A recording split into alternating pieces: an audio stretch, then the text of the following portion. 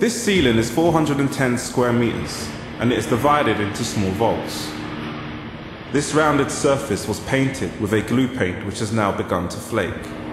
For this condition, Spreefix G makes for the perfect solution with its lightweight, seamless, sprayed-on insulation. The insulation matches perfectly with the uneven surface and leaves no weak points.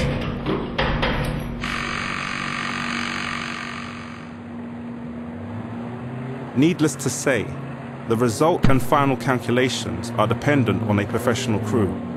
Therefore, we only cooperate with thoroughly trained and certified contractors. After the machinery and the components are set up, the flakes are scraped off. The glass wool is fed into the system where it is effectively torn and granulated.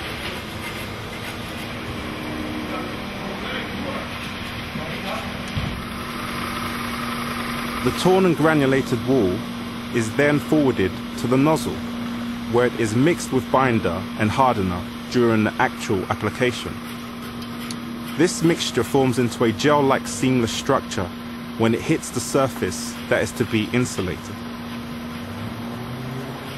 Up to 100 millimeters of wool is applied onto the surface in a single round. More wool can be fed into the system while spraying continues. To adjust the hardiness, we use a padding board. It also ensures fine edges and corners. For the final touch, we use an aluminium roller to ensure a smooth, medium, hard surface. Spray insulation requires no fasteners and no cutting around already installed electrical or plumbing fixtures.